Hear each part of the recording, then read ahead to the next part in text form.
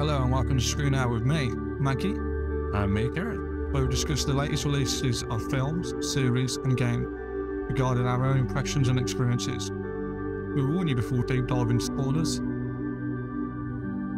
This week's episode is going to be on DC's The Flash.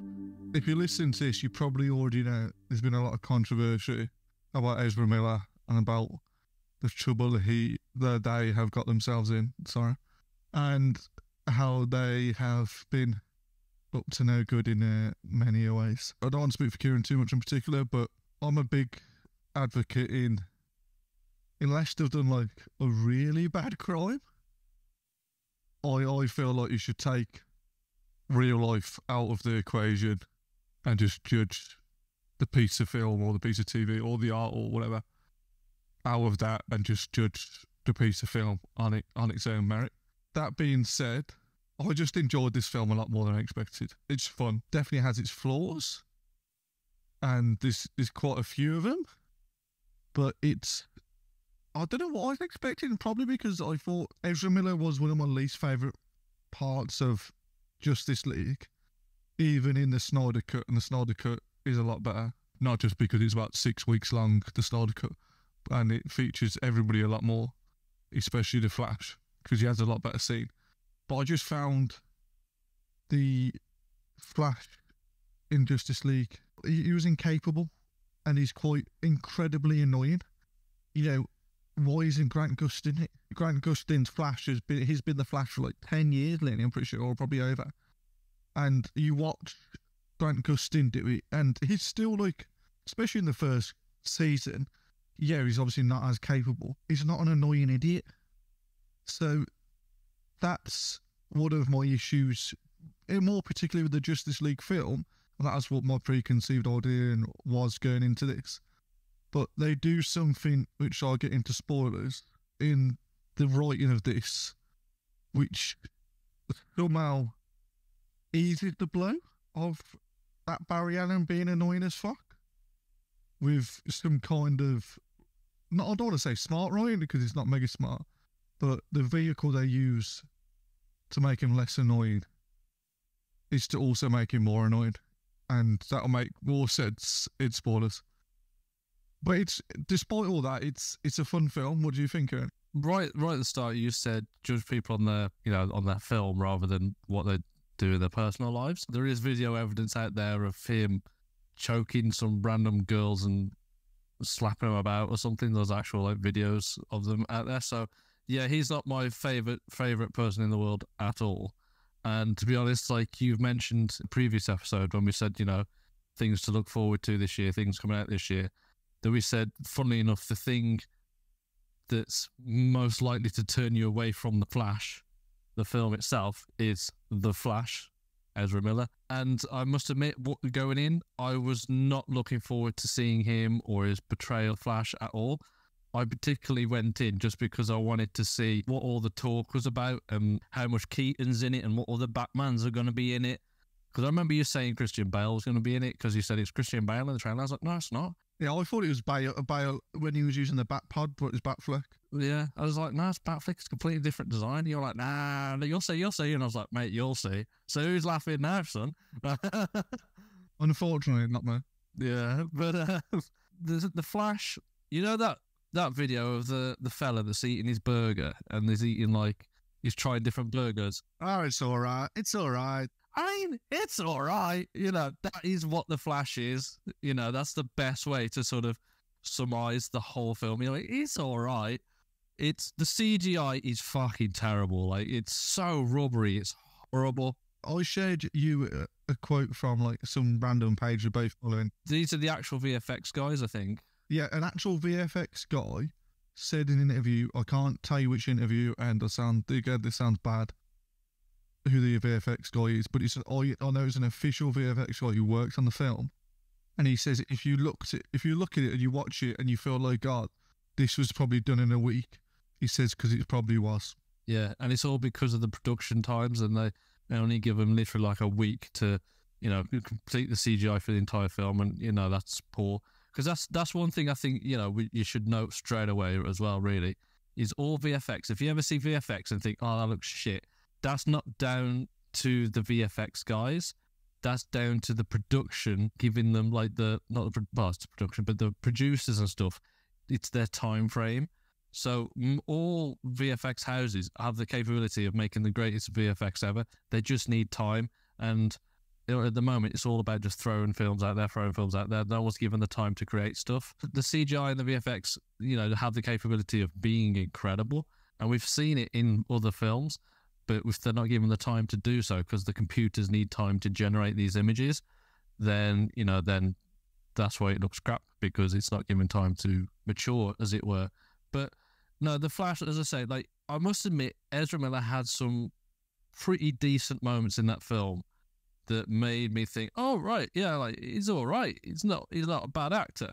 So there weren't made like he wasn't constantly annoying throughout the film, but as you forementioned, there was an element that allowed it to be annoying, but then there was another element that was less annoying. So it really balanced itself out. Like It balances it out to a degree. Yeah. yeah, it worked well.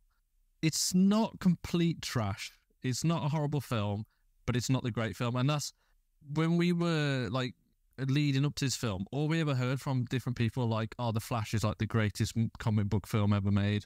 Yeah, you heard you heard on the like whispers on the internet, like people had seen the preview. Oh, it's great. It's the best comic film ever made. Yeah, and immediately you're just like, "Oh, it's shit." They're just trying to get bombs in seats before everyone knows it's shit.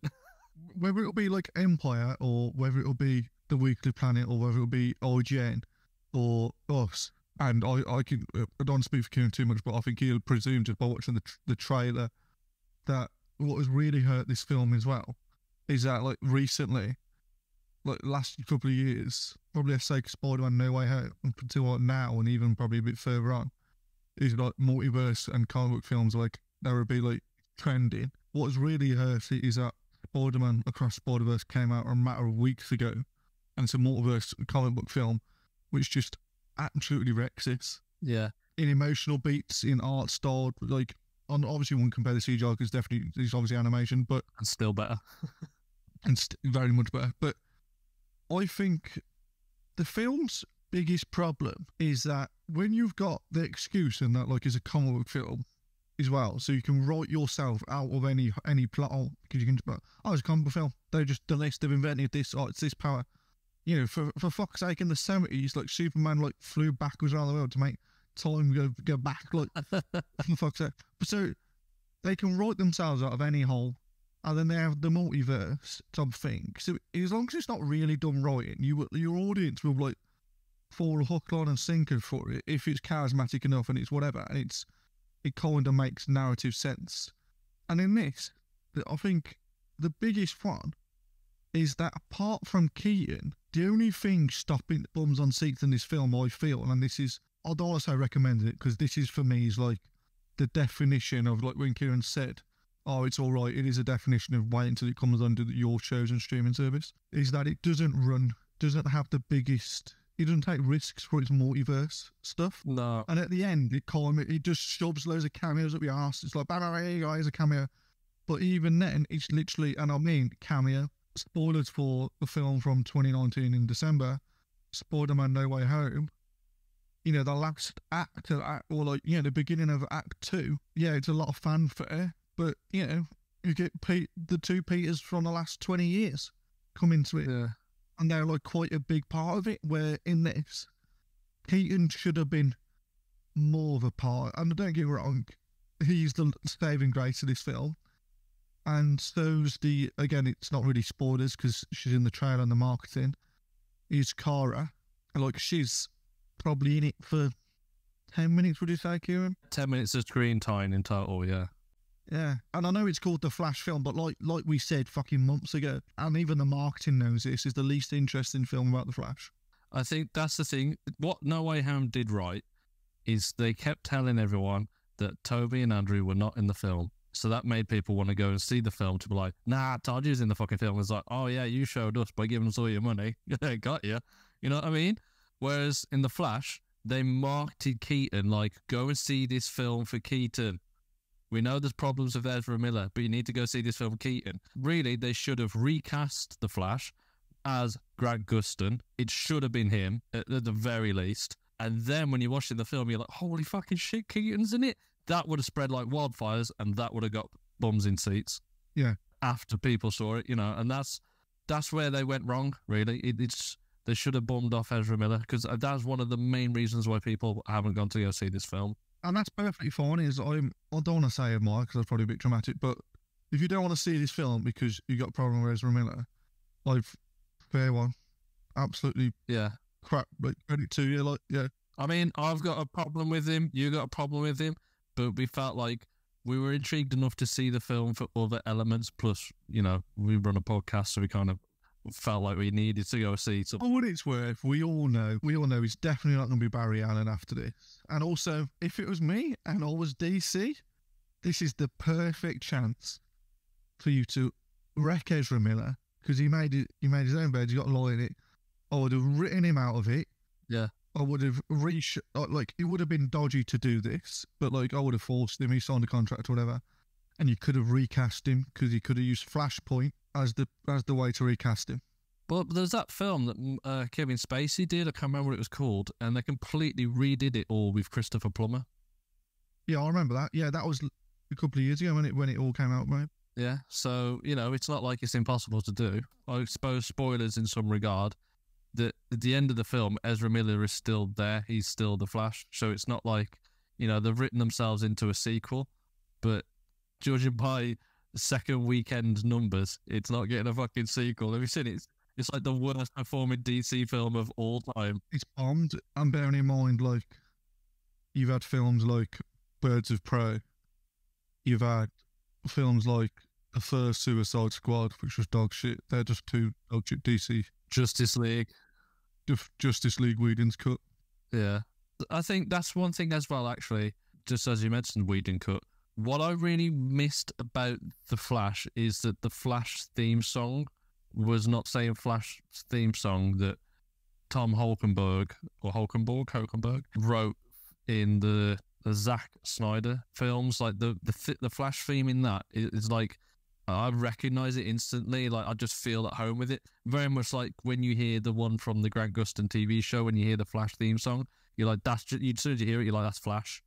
You know what I mean? Whereas in this, it's, I can't, I can't remember who did the music in this, but it's not that theme song. It's a completely different one. So you kind of just sort of like, all right, I've got to get grips to a different song. Whereas like with Batman, I feel like we've had countless different Batmans, but every Batman has that same sort of tone. Like you recognize it. Yeah, the Danny Elfman score in this is sick. The, the, the fact that you get to hear that is, is absolutely great. Oh, like the, with the with the Batflick, you know, the first time you ever saw bat flick and you heard the Batman theme song, you immediately know that's Batman's theme song, even though it's the first time you've ever heard it. It's got a tone, it's got a feel, it's got a sound to it. Whereas the Flash theme song, it was just it's been too different too many times, and this one it didn't it didn't feel right. As as you mentioned, he's the Flash's character in the Snyder cut versus the Whedon cut versus the Flash. He's a different character in each one, and I've got to be honest, the character he's in the Flash is his most likable character.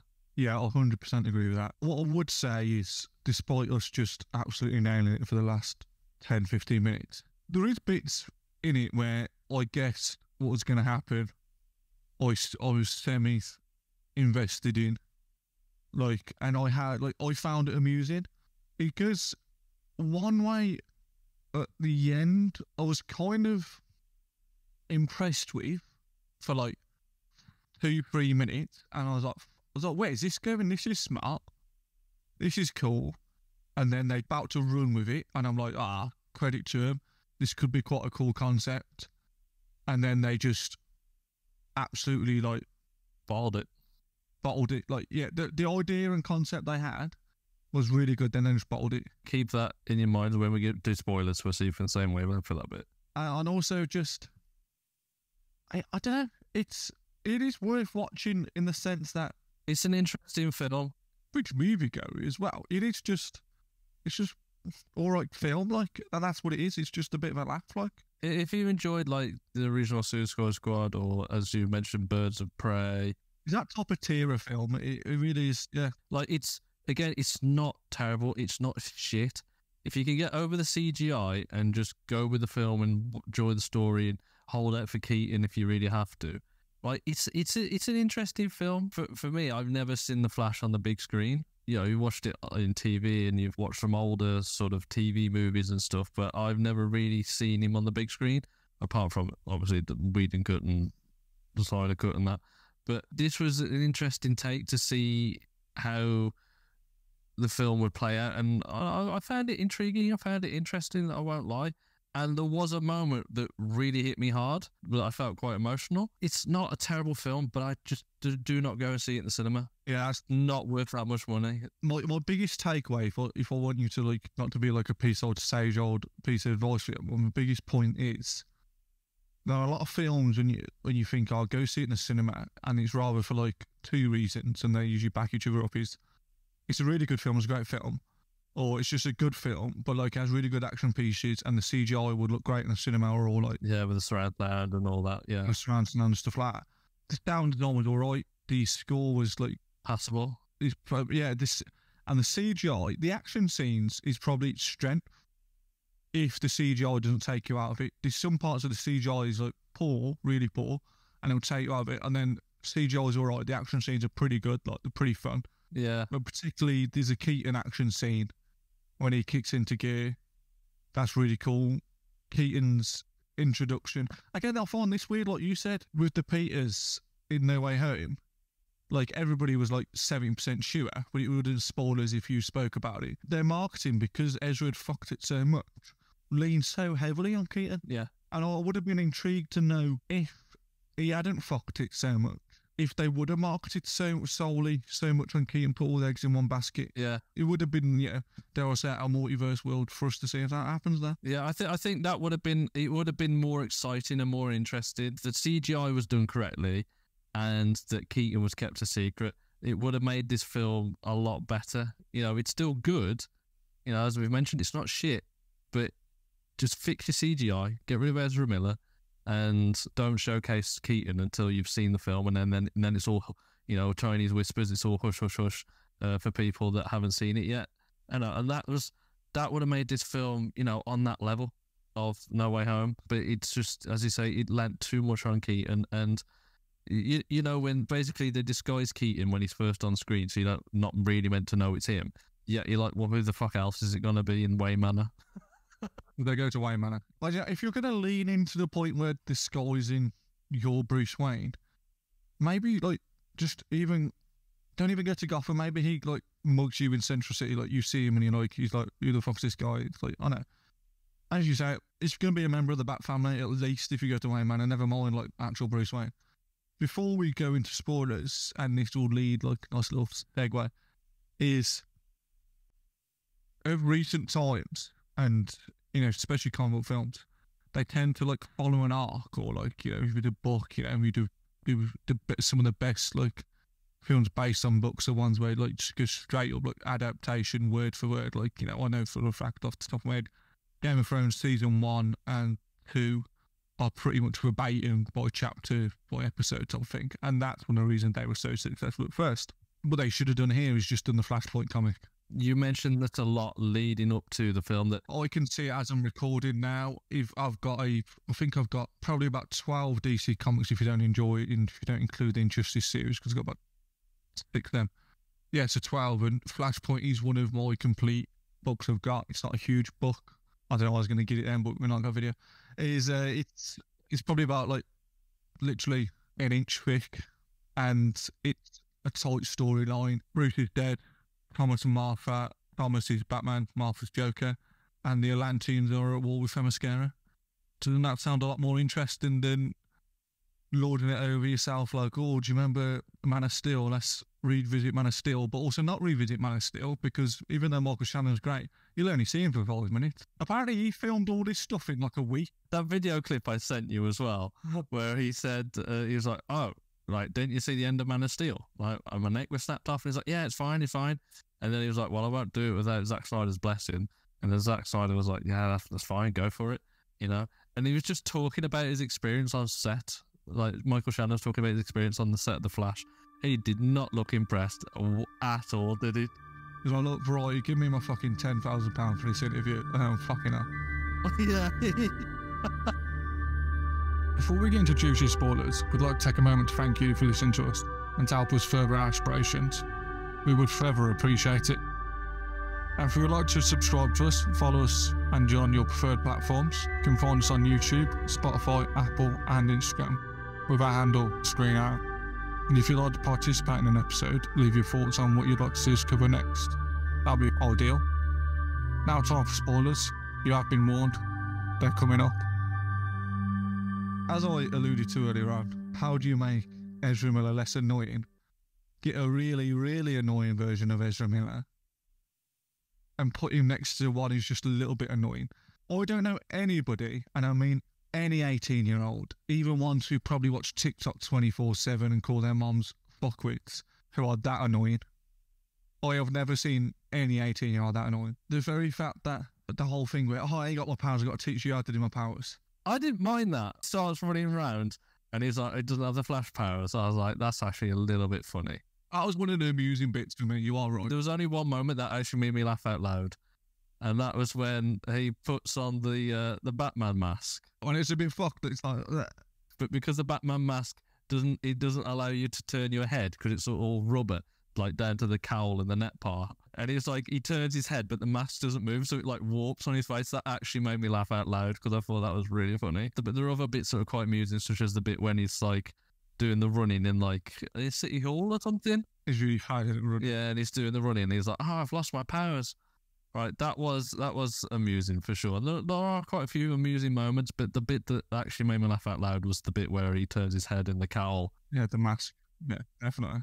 I don't know why it's such a stupid gag, but it really tickled me. An- another one is like, what is that chemistry? Well, or lack of chemistry between the Iris West Oh gosh, yeah.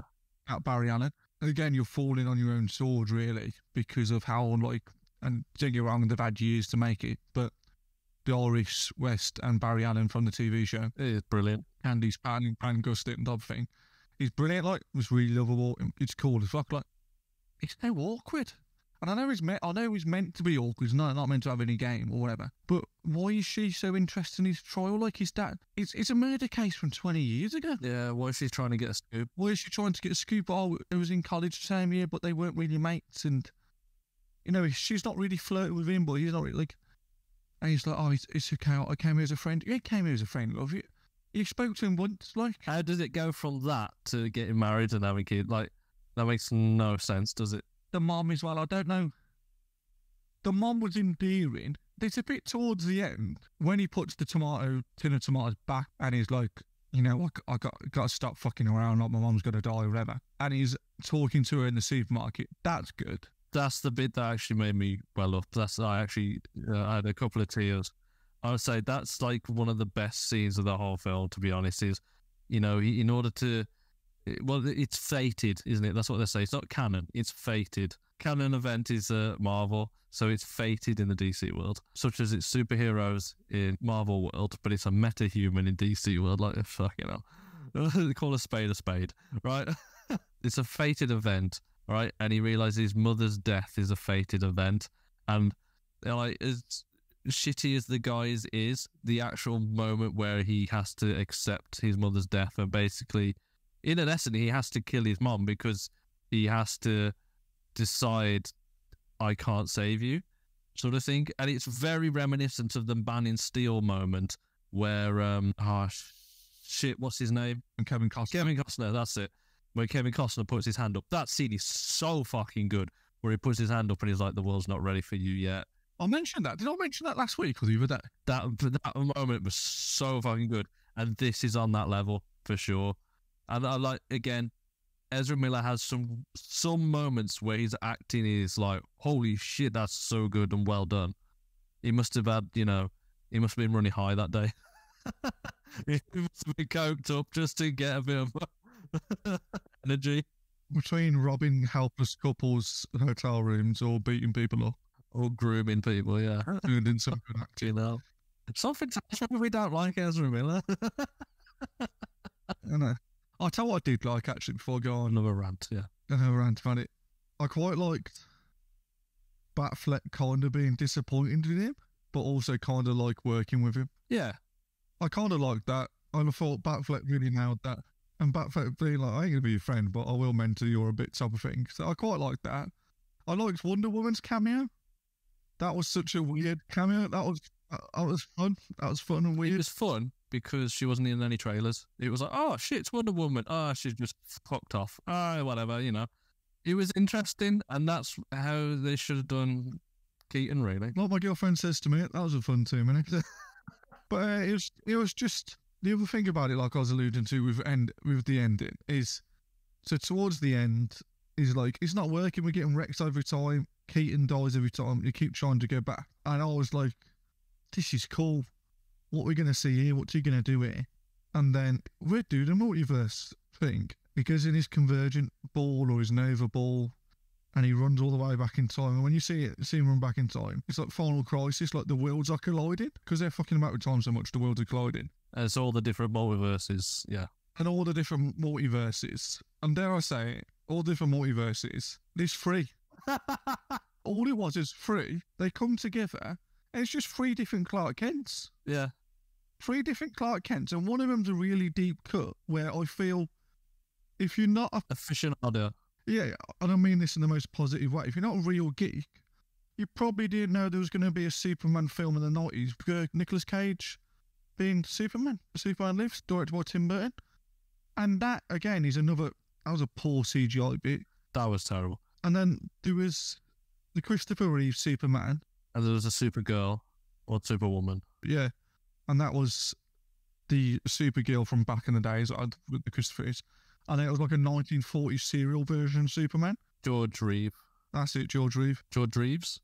Yeah, because it's Christopher Reeve and George Reeves, but they're not related. Yeah. And then and then there was uh, Adam West as well. Oh, fair one. I didn't see Adam West. Yeah.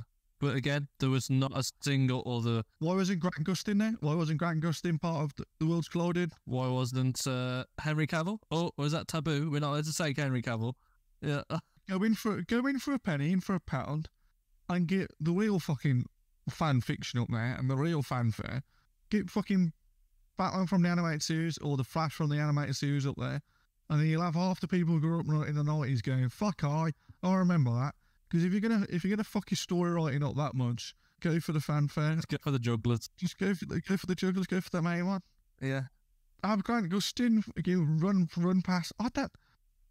And the biggest one, and I mean, this is I kind of admire them this doing this because it's such a troll. Is George Clooney comes back.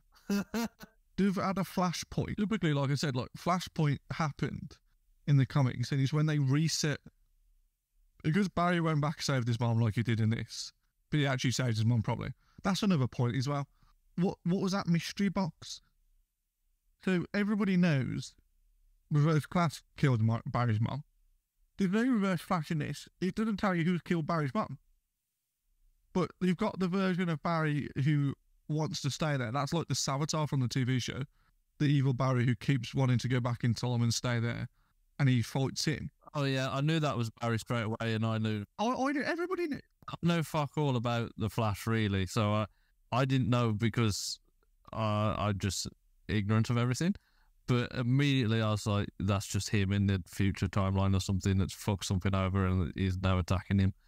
You know, there's like I I just knew it immediately that it was it was that because I was like, it's not the Reverse Flash because it Reverse Flash is yellow, isn't he? Yeah, I kind of like that, but he's very predictable. Why aren't we seeing who killed his mum? Because the uninitiated, the people who just go to the cinema to go watch DC films, I.e., me. yeah, aren't going to know. Like you, like like you said, I'm ignorant. I don't watch the Flash TV show. I don't know what the comics, whatever. But as I was saying, George Clooney, I appreciate how funny that is because they don't care. I think that's what it was. Yeah. They says to George Clooney, "Do you want to earn like half a mil for twenty seconds worth?" Did you know that it wasn't meant to be George? No, I heard it was meant to be Christian Bale. Yes. And they begged him to come back for months. they begged and begged and begged. He was like, ah, fuck it. And like, yeah, so they really wanted to make Nolan's Batman's part of the new DC, whatever, DCU. Wait, is Flash part of DCU? I think this is the last. And it has worked well because they have used it as a flashpoint to reset the universe, like I said in the comics. That's how they reset it all. It does usher in James Gunn's era. Yeah. Blue Beetle onwards is now James Gunn's era, apparently. but Aquaman 2 still yet to come out in December. So I don't know how much that is going to do. But But Aquaman's dead in this. he's not. He's not born. He's not born. Yes and no. In the multiverse, he is. But when he comes back, nice little uh, poor anecdote for you. So me being like, let's say half impressed with the film, but it's on for a while. Is like, I need a piss, and I so I googled if there's a post credit scene, and it says yeah, there's a post credit scene. Drunk Arthur it's drunk Aquaman, just to confirm he's still in this new Flashpoint universe because he's got his own film coming out. So I read that and I thought, oh fuck it, that don't sound too great. And he's just drunk Aquaman. He explains the plot of the film to Arthur while he's carrying him. I was like, that don't sound that great. I really need a piss. I go have a piss and I'm like, shit. Uh, I get walk out the cinema, go to water my car. I forgot my sunglasses. I go back into the screening and perfect timing.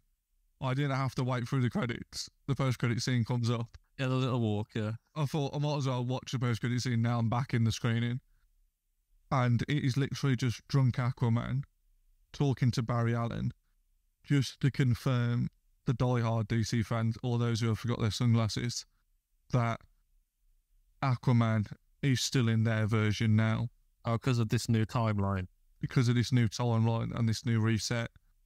And more to the point, is he's got his films still yet to come out. So does this mean George Clooney is canon now? Well, this is my exact point. Is George Clooney Batman? Is George Clooney Batman forever in this DCU? Was it just a laugh?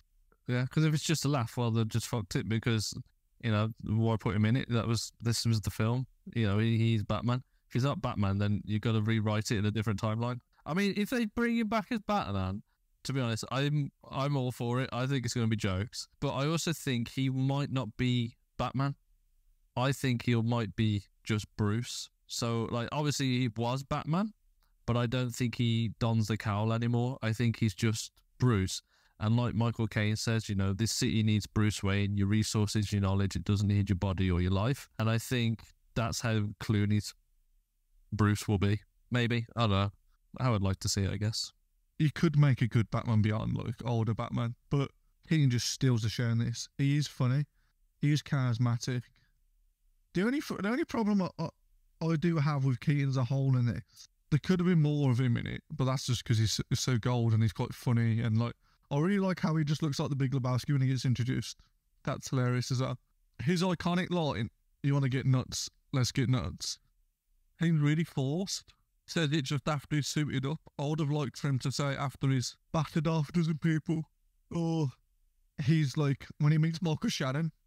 Or there's a really cool bit. Like he's he has one of the best action scenes. And he somehow like he only takes him down for like five minutes, less than that.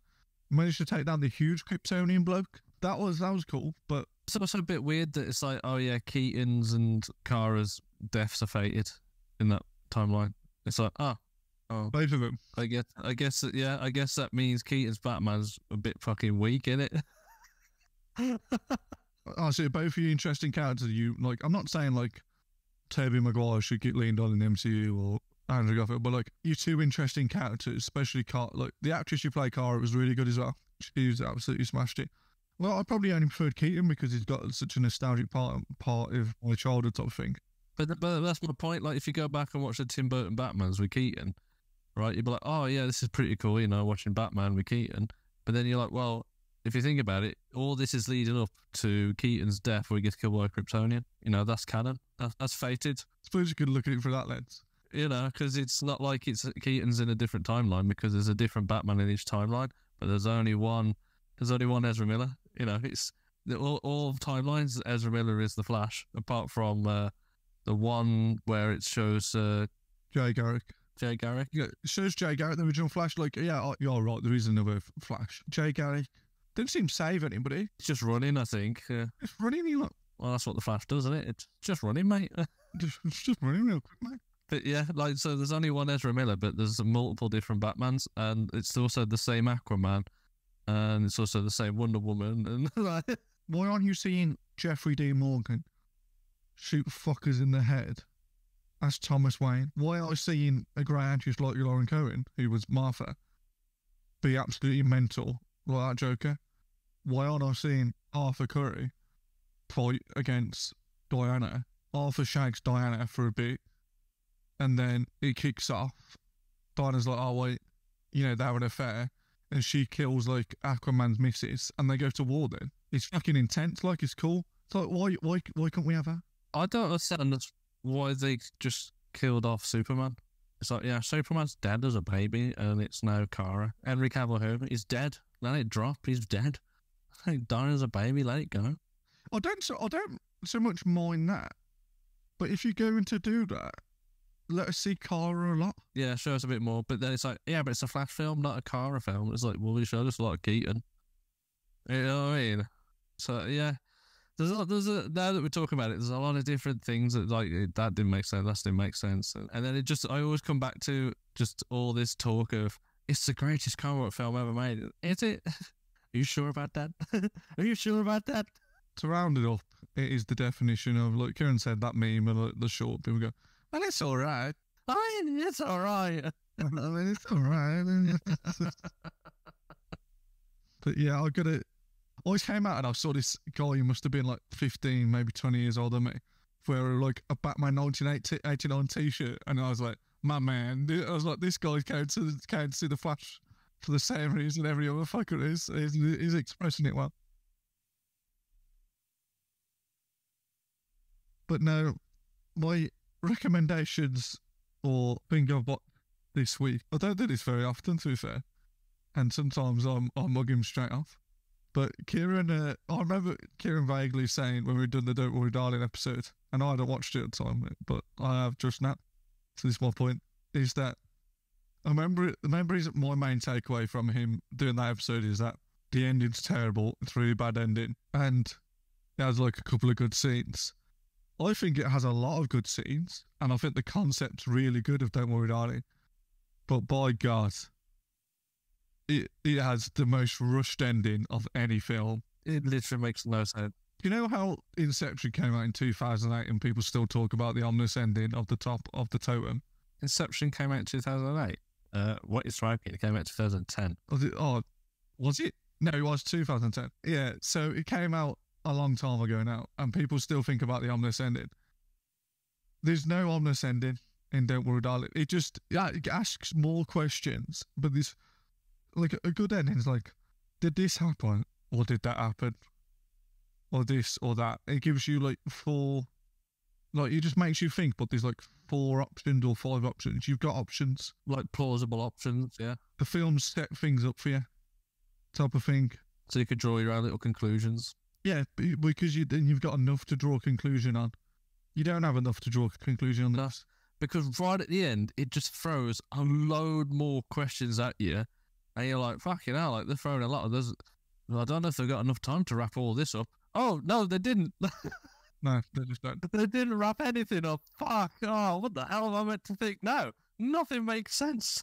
the best and worst thing about it, again, it's it falls on its own sword because you want to know more. The concept is really cool. It is interesting for sure. The twist is just like you know, in sounds are bad spoilers, but you know, Florence Pugh and Chris Pine were fucking incredible in that film. They were so good, and their interplay in that kitchen scene was um like the dinner table as well. That was a really good. And yeah, Harry has some great moments, and again, it's it had it had potential but it really just fell flat and went fucking nowhere. I was like, what? That was a waste. So I'm glad in a convince me episode where I convinced you not to watch it, you went and watched it and came to the same conclusion as me. yeah. I, I just, that is the definition of it's all right or not it's all right. More so, it, it's really good. It has potential to. The Flash is better, in all fairness, than Don't Worry, Darling. I'd rather watch The Flash again than Don't Worry, Darling. Uh, no, I think I'd watch Don't Worry Darling again because now I know the twist. I'd watch it. I don't want to tell you the twist because I recommend people should watch it on streaming. But now I know the twist, I'd, I'd study it more and see if I'd, I'd spot things a bit more. So you think Don't Worry Darling is more worth a watch than The Flash, a rewatch than The Flash? That is such a rogue show from you. It's better acting. It's consistently better acting as well. The plot, the plot's less messy, and for the average viewer, I'd rather I'd recommend unless you're a die-hard super superhero fan, Don't Worry Darling's a much much better film. Mm, there's not much in it.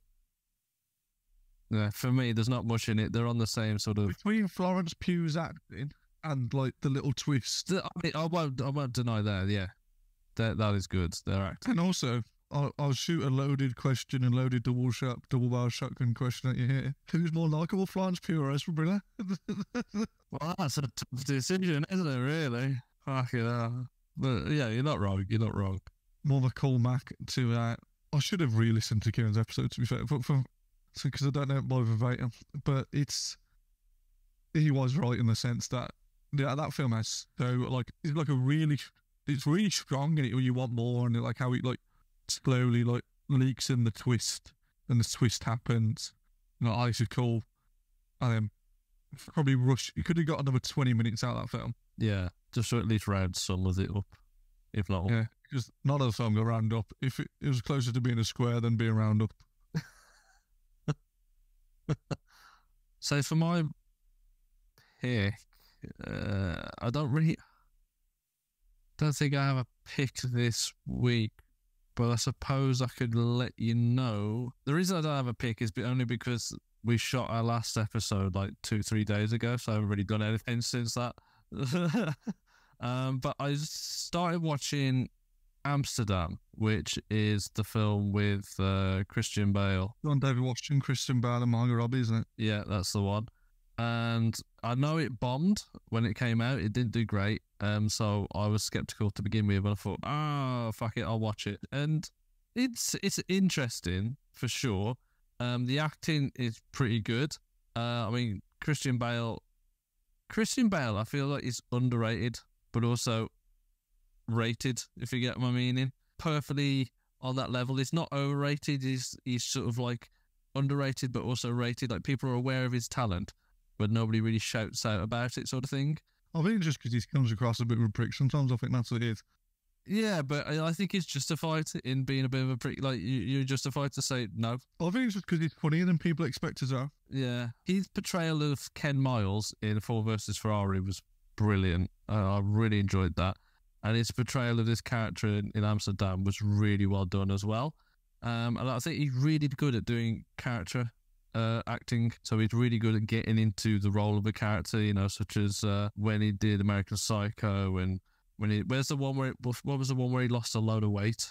Insomnia. No, not Insomnia. Uh, it called Machine Machina? No, Machinist. Machinist. Is that the one? Machinist. The machinist, yeah. Yes, no, he's not in. It's, he coupled with Insomnia. oh, right, yeah. So Insomnia is a Christopher Nolan directed one with Robin Williams and uh, Al Pacino. Al Pacino. Uh, and then he did was it American Hustle where he put on a load of weight as well. So he's really good at doing character acting, and in this he's he's he's really good as well. So is um, uh, Margot Robbie and John David Washington and Zoe Saldana, Michael Shannon. What type of film is it there? It's like a Who's Done It, but it's not. But it is. It's it's not like a traditional Who's Done It at all. It's not quirky or anything. I mean, it's got a bit of quirk, but it's. I've watched like an hour and twenty, hour and thirty, and I still have got like another forty minutes to go. And I'm like, is the film not over yet? Like it's so long, and it's a little boring, and I think that's why it hasn't done great. Like I'm waiting for the payoff. I'm gonna, you know, continue watching the payoff, but I got so far and I thought I need a fucking break. I thought this film is taking way too long to tell nothing so far, and it's like it's slowly showcasing some of its story and divulging certain things and that, but it's I, I like as the film's getting on, I'm just like I don't really know if I care where this goes. like I think when I get to the end, I'm like, oh, you know, that was actually good. I did quite enjoy it, but at this moment in time, as far as I've gotten in, I'm like, can it just round up now? I'm like, I want to move on. One of my friends at work described it as Amsterdam is wishes it was see how they run. It wishes it was like More quirky on the nose. working more fun and more on the nose and like more funnier and amusing, more quicker witted and stuff. Yeah, it's it's not it's not sharp really. It's not super quick witted. It's just it's very slow. It's very slow. Just before we finish the episode, like any great podcast, and we are not an exception, we will be covering, and if you listen to this, you probably know what's coming out in July. We are for definitely going to be covering Indiana Jones. Boom, boom, boom, boom, boom. boom, boom, boom. Mission Impossible, of course, as Kieran comes in his pants. Ah, Oppenheimer and Barbie. we're gonna do Barbie, are we? Yeah. Oh, I can't wait to see Barbie. I think Barbie is gonna be quite a laugh. I think Barbie's going to be great. It's not something you, you're gonna take serious at all. You, I think I, I am taking it seriously. I think it's going to be great. the Lego movie. I think it's going to be something like that, where it's really wacky, really quirky, but then like the bit at the end with Will Ferrell, and it really sort of like hits home. You're like, ah, oh no, this is actually pretty good. This is, I like this ending. I think it's going to be something along those lines with Barbie, maybe. I think as well, random observation of mine is the Jennifer Lawrence film, Pretty Awkward, looks, what's it called? No Hard Feelings. No hard feelings. That's what it's called. That looks good, Does it? but why they chose to release it, why they chose to release it now between, you know, some really good big films. It's going to bomb compared to the other films. Gonna bomb compared to anything else. It's like Transformers Rise of the Beast, like it's a Transformers film. It just looks alright. So why you released it? Yeah, it should be an Octa film. Oh, the Flash and Spider Man across the Spider Verse. Should have chucked it in October. Should have chucked it in like September or October when it wasn't as uh, crowded. I would have went and thought that. I ain't gonna go see that now. It's been and gone. Yeah, exactly. And there's other film I'd rather spend my money on seeing. But yeah, that's the episode. Thank you so much for listening. As always, Yeah, we appreciate you. take it easy. Or hard, however you prefer. Be kind to one another. Spread the love and don't be a cock. Is that your catchphrase? Spread the love, don't be a cock. Spread the love and don't be a cock. But no, uh, I've got to go because I need a poo. Fair enough. Bye bye.